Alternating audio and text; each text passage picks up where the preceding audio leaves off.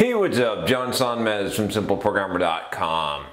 So I got this question from John I thought was a pretty good question about uh, consistent code versus the Boy Scout rule. And this is a problem that we have, I think, when you're ever working on a new project and you've got, or rather, you're working on a new job and you're exposed to some older source code. So he says, hey John, uh, I'm wondering if you've addressed this before, if you could point me to a video or a blog post don't think I have all that much, maybe briefly, but he said, I started working on a different project for my team. We're working with a client that has an existing app that is more than a few years old. The architecture is sound and the code is well organized. However, it's a bit dated and doesn't match the definition of what I would consider clean code. Since, we've uh, since we're a mixed team of internal and client developers, how would you approach this code base? Would you clean as you go? This would break consistency in the code base.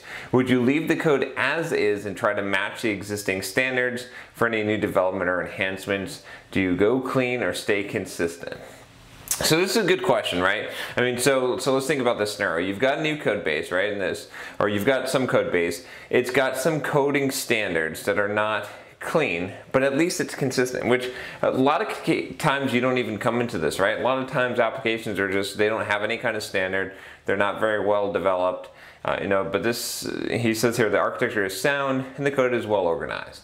So this is, um, this is, this is a, a tough one. So in general, right, when I'm working with legacy code, what I usually recommend is creating this barrier, like this layer of abstraction where be, below this layer is going to be the cruft, and then I'm creating this clean layer of separation in between, and everything above this is, is clean, is going to use the new coding standards, is going to have unit tests, is going to be cleanly written, you know, and, and have that, that new standard. And so what I would do is basically go through the code base and as I'm working on stuff, I'm going to try and move stuff and as I create new stuff, eh, I'm going to move stuff to this better architecture that I've created where everything is clean and it's going to interface with the old stuff, right? So this way we're not just randomly changing stuff and changing convention and we, you know, we, but we're making progress towards this change. We know what, you know, so, so what, it, a lot of times when I'm involved with a project like this, I'll draw up and I'll figure out what is kind of the ideal architecture that I would like to have and then as I start working on pieces, I start moving them into that new architecture, right? That's the clean area. And everything that goes into the clean area stays clean and it can only communicate outside of it with the, with the cruft, the old stuff. Now, I think this is a good approach in general, right? Obviously, this is the approach that I take. And what it does is it allows you to continue to work on the existing system, not try and convert everything over, not get all mixed up, and to have a very clear distinction where you're going to write code a certain way. The old way, you know, if you're fixing bugs and that, if you can't move stuff over, but you're trying to move stuff over and it gives you a place to go. So you start building, like cleaning things as you go, building this sort of uh, clean zone where nothing is going to get past that, right? If you can imagine that, that'll expand. Eventually the whole application becomes clean.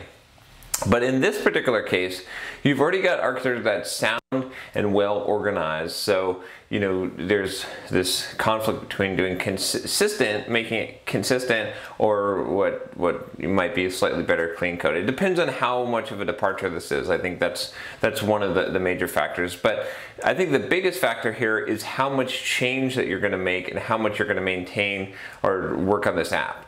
If you're going to be working in this app a lot and maintaining this code and building on this code and doing lots of changes, then I'd be more inclined to start doing what I'm, what I'm telling you about, which is to start creating this clean zone where you have this new architecture that you've got or you've got a certain number of files. Some way you're dividing the project up in the system so that you have the, this uh, very distinct, if it's in this area, in this sub-project we've created, however you're building that out, in this architecture zone that we've showed in this diagram, if it falls into this area, then you're using the clean code we've got a new set of coding standards and principles and we're writing the code this way.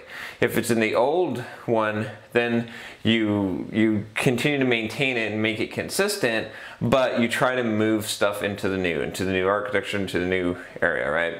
So if there's significant changes, I would do that. If it's small, right? If it's small changes and you're not doing a lot, and you're just maintaining this code and it's already consistent and well organized, then I don't think it's probably worth it. Then just stick with the coding conventions, make the bug fixes here and there. You know, maybe if you tack on a new feature or something, you, you do that with the consistency, you know, of, of the existing system and, and don't make these big changes. So, you know, in general, and, and it depends on how far of a departure this is, right?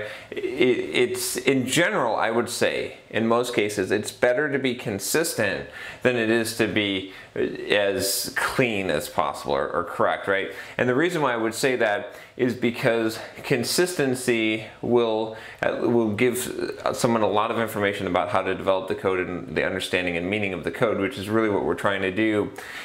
But but if you were talking about you know just crap spaghetti code versus clean code, then crap spaghetti code usually doesn't have consistency anyway, and if it's written horribly and it does have some kind of consistency, it'd be better to move to clean code. So this is I kind of want to break this down because there's a bunch of different you know things to consider here. But in general, right, not knowing enough background here, I would say that the approach, my default approach in this case is what I've what I explained in the beginning is to isolate a portion of the code, come up with a new architecture, how things should be in my ideal world, and start moving pieces in there as I touch them, and then interfacing with the existing system from that from that new architecture, new area. Not trying to move everything over, not trying to do everything. And that and the approach, the, the nice thing about that approach also is you don't create a lot of work that you don't need. So you're moving the pieces over as you're touching them. It's sort of like the Boy Scout rule, right? Except that instead of just cleaning up that code and, and fixing warnings and, and whatnot, you're actually taking that code and you're saying, okay, let me refactor this and move this into the clean area. This is the, we have this clean zone, this architecture pattern, you know, in, in this new architecture. And so that, I think that that's the default approach, but I would not go through all that if you're just making a few bug fixes and you're not really gonna heavily maintain this, right? You got to be pragmatic and practical as well. So good question. I think, you know, this is always going to come up in code bases, existing code bases, consistency versus Boy Scout rule. And like I said, it's there's a few different things. I think that general approach I've given you is going to work in most cases, but you know, in in general, you know, you if it's not a, if not if it's not a huge departure from what you would be doing, consistency is really really important. So and that's and that's why again why I separate things out and have the clean area and have the old way you know in because they're both consistent.